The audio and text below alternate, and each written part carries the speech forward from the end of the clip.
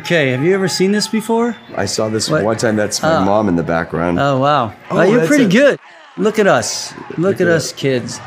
Whatever God damn, we to look that- whatever- exactly the same. Whatever happened to that guy? It's like it was yesterday. I wasn't sure if that was footage from what we just shot. Yeah, I, I couldn't tell. I tell. don't know if that was. The I same. couldn't Yeah. tell. Here's See another this? That's a good one. It's That's a, good you got to give me That's a credit point. for that.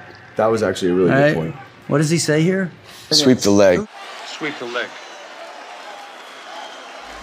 And there you see the Johnny. Yeah, I, now I'm getting sucked into it. I'm. I'm watching the movie now. I have no comments because I'm thinking that guy's a real jerk. The- yeah. He should the- I remember walking villain. out doing that. I remember when he said, "No, coming out." Now he's in a whole other mode. Now Yeah. he's now he's. That's been- a pretty good kick to the face Now right now. a what? Now that kick to the face. Why was that not a problem? No, it wasn't illegal. It was, you put your leg out there. What do you expect is going to happen?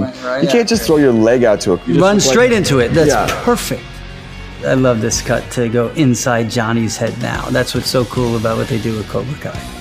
I feel like I'm watching a movie, but I'm not even in it. anymore. It's like it's it's watching a piece of film. Mm. It's a piece of pop culture, Pop culture, that we yeah. got to be a part of creating, where it all began. We've never let go, and Jon, Josh, and Hayden as well. They never let go of the source material and the people who created that. And so it's a big homage every day for me, honoring Pat Morita's John Avildsen, all those those folks that Yeah. uh, that got us here, and William Zabka. yes, all of us, all the above.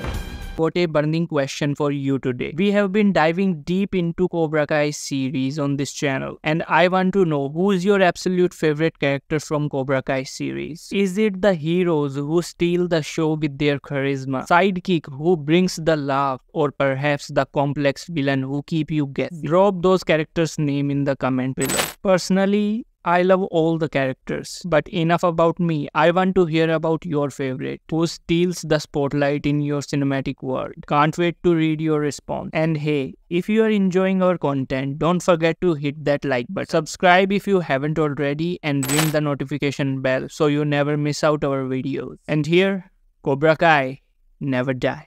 Open eye, feel the waves cut through me, hypnotized by the sounds I'm breathing in.